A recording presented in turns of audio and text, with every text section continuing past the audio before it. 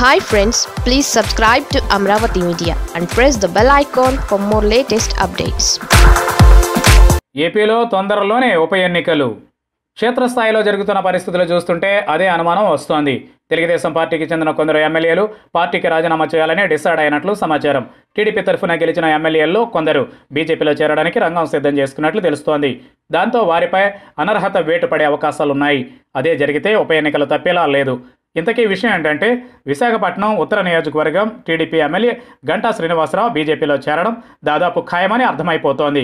గడిచిన కొద్ది రోజులుగా గంట ఢిల్లీలోనే మకామి వేశారు. టీడీపీలో నుండి బీజేపీలోకి ఫిరాయించిన సుజనా చౌదరి సీఎం రమేష్తో గంటల తరబడి మంతనాలు జరిపారు. దానికి క్లైమాక్స్గా జాతీయ ప్రధాన కార్యదర్శి రామ్ మాధవ్తో కూడా దాదాపు మూడు గంటలు భేటీ అయ్యారు. ఈ భేటీలో ప్రధానంగా పార్టీ మారితే అనర్హత వేటు పడే అవకాశం ఉప ఎన్నికలు బీజేపీ టికెట్పై పోటీ చేసే అవకాశాలు గెలుపు తదితరాలపైనే ప్రధానంగా చర్చలు జరిపినట్లు సమాచారం. ఇవన్నీ కాదంటే అనర్హత వేటు నుండి తప్పించుకునే అవకాశాలపైన కూడా చర్చించినట్లు తెలుస్తోంది. అంటే అనర్హత వేటు పడినా మళ్ళీ తమకే టికెట్లు దక్కేటట్లు హామీ తీసుకున్నట్లు అర్థమవుతోంది. మామూలుగా గంట ఏ పార్టీలోకి మారినా ఒక్కరే మారరన్న విషయం అందరికీ తెలిసిందే.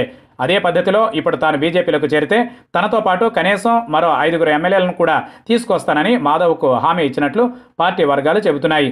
ఎలాగో చంద్రబాబు నాయుడు నాయకత్వంపై నమ్మకం పోయిందని కొందరు ఎమ్మెల్యేలు ప్రైవేటు సంభాషణలలో చెప్పుకుంటున్నారు.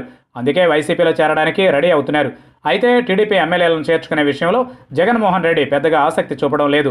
దాంతో పార్టీ మారాలని అనుకున్న ప్రజాప్రతినిధులకు నేతలకు బీజేపీ మాత్రమే ప్రత్యామ్నాయంగా మారింది.